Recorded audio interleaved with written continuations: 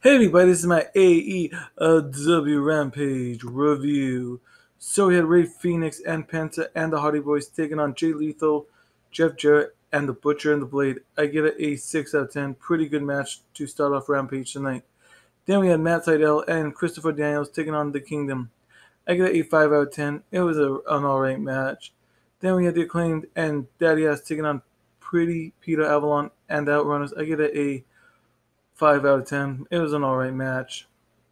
Then we had Aussie Open taking on Lord Crewe and Damian Chambers. I get a 4 out of 10 squash match. Then we had Jade Cargill taking on Kris Statlander for the TBS Championship. I got a 7 10. What a main event. That was the match of the night. So overall, I'm going to give AEW Rampage tonight a 6.5 out of 10. If you're new here, please hit the like button, hit that bell for notifications if you want. Please subscribe.